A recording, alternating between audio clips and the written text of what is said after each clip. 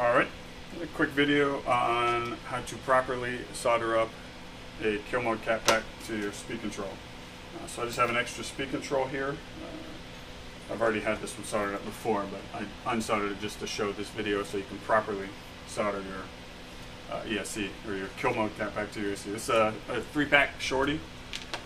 Um, so first thing to do is make sure you have your proper tools.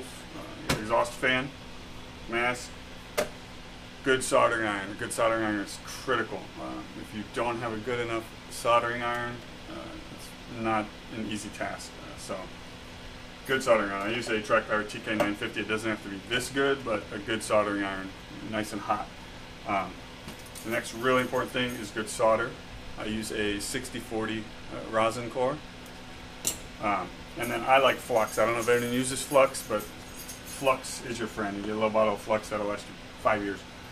Um, so, the first thing let me show you is uh, your kill mode cap pack will come with pre-tinned wires. I already tinned the wires for you, but in the case that you want to shorten the wires or resolder it, or if you're like me and you like to hook it to a bullet connector so you could switch them out in between cars, um, like I said, these will be pre-tinned, so you could actually solder these directly up. They already have a decent amount of tin on them, so you'll be good. But let me show you first how to tin a wire if you have to cut these for whatever reason and re-tin the wire. So what you first want to do is shear it. I've already sheared this one.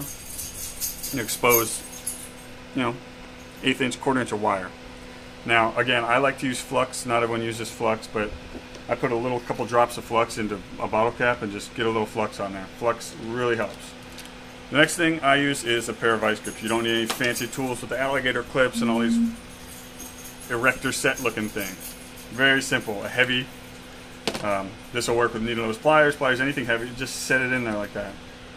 That's gonna hold tight. Um, we're gonna wear a mask safety first, and again we have our smoke absorber fan. Actually, I'm not gonna wear the mask because you won't be able to hear me. It's muffled, but wear a mask. Safety first. All right. So we got our our solder's already uh, warmed up. Um, cut a chunk of wire off of the roll instead of trying to solder with the roll. It's pain in the ass. So this is going to be really quick. You know, if you got a good so hot soldering iron, it's going to be nice and quick. So let's get the smoke absorber in place here. Okay, so I have this flux on there. You're going to see with that flux on there, this thing's going to sizzle instantly. And it's going to be quick. You don't want to over tin it because it'll tin way down the wire and then you have a solid wire and you won't be able to bend it or flex it or anything. So you want it to tin down maybe, you know, a quarter inch into the the uh, wire. So put it on, you're gonna hear it sizzle, heating up. Feed it in, feed it in, feed it in, feed it in. Get a little more fed in there. Spin it. Just make sure you're covering everything with solder. It doesn't take much, so it's gonna feed right in there. So that's plenty of solder in there now. Now let it suck in. Perfect. So that's pretty quick. Um, what I would normally do is let this cool and then I'll, I'm not going to do it now because it's hot, it'll shoot solder in my face. I'll usually take a little Dremel and just clean that extra flux off. You don't want that extra flux on there. And that's a properly tinned wire right there. Okay. So, if we're going to do the ESC, this one I told you I've already exposed the wire because I already had a cap pack on here at one point. Um, but it's very simple. You want to go as close to the ESC as possible and then just you know take an X-Acto knife and cut a square chunk out of the wire here. Don't cut into the wire just cut the the, co the covering off of the wire. Just a nice little square maybe a quarter inch. Um, you're going to end up covering that with either electrical tape or if your ends are exposed you can put uh, some shrink wrap on there. So again I like flux. Flux really helps especially if you don't have a really hot soldering iron so use a little flux on a q-tip wet that up. Okay. Now again, we're going to tin these. These ones are already tinned, but let's make sure. Because like I said, I want to show you in the video. So get this nice and high. Now you don't want to hold this on there too long because it's going to heat into the ESC and you have a chance of, you know, melting something on internally. So get that flux nice and hot. Feed it, feed it, feed it, feed it, feed it. Let that suck in. Okay, it's really all you need. That flux really helps gets that uh, tin soaking in there. And you'll know these are tinned properly. Okay, that one didn't take really well. There we go. Yeah, it's going on there. Okay.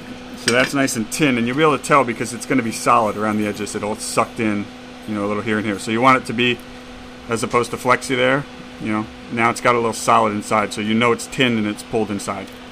Okay.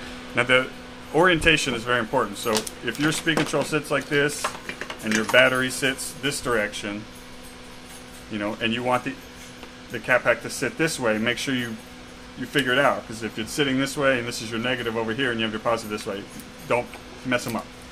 So I already know which way I want this set up. Just make sure orientation is proper when you do it, because you know if not, your cap pack's going to be twisted over and tied up like that. So I already know the orientation of this one because I've done this one already before. So you can tape these wires back, get them out of the way so you don't end up melting them, but I'm not going to worry about it because I don't even know if the ESC is any good anymore. Um, so make sure you are, your polarity is proper, positive, negative, positive, negative. Okay. You're just going to go back and get this a little warm. You don't want it to be cold because then it's not going to flow.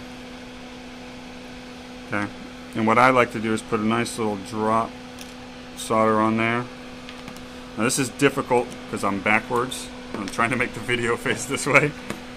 Um, so let me get myself oriented here. Uh, this might not be my best moment because like I said I'm trying to get the video to angle properly and I, I would usually flip this over and do it the other way. So what we're going to do here is heat this, let this flow. You're going to see this flowing. See it flowing in there? I don't know if you could see that on the video, but see starting to sizzle a little. Now just put it on there and smush. It's going to take right in. This is much easier. See what I did there? Don't do that. Remember I said tape those wires back so you don't melt them, and I ended up melting them. So that one's tinned up nice and proper. Didn't melt all the way through, but that's a good example as to why I said to tape these back and keep them out of the way. So I know that one's in there really nice and tight. I'm actually pulling on it pretty hard and it's not going to come loose. So same thing on this side. Heat that up a little bit. Put a nice little chunk of solder on there. Watch this flow. Solder's flowing straight through. That one's nice and hot. It actually dripped off a little bit. If you have a helping hand that you can have two people do this to keep these wires as straight as possible it makes it much easier now what I will recommend is don't try and orient things with the soldering iron in your hand because you will burn yourself okay wire's still pretty hot. I'm not going to move it because I got a good hot soldering iron but I know it's flowing now watch that flow in. Hold it there. Now you can always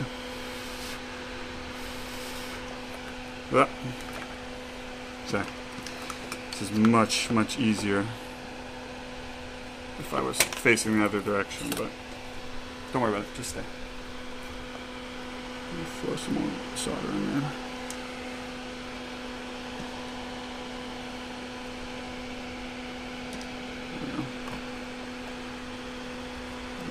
Flow, flow, flow. I could watch it flowing into the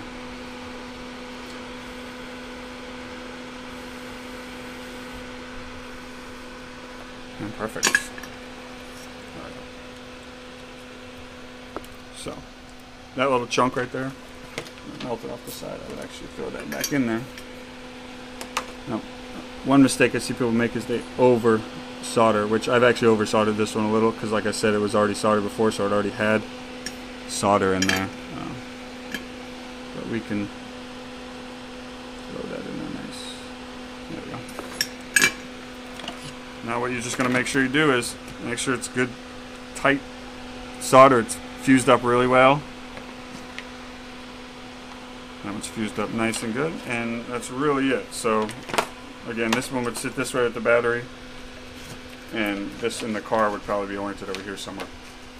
Again, make sure these get either shrink wrapped up or you know properly insulated so they don't touch. If they touch, you're gonna hear a nice loud pop You'll probably screw some stuff up. So that's really it.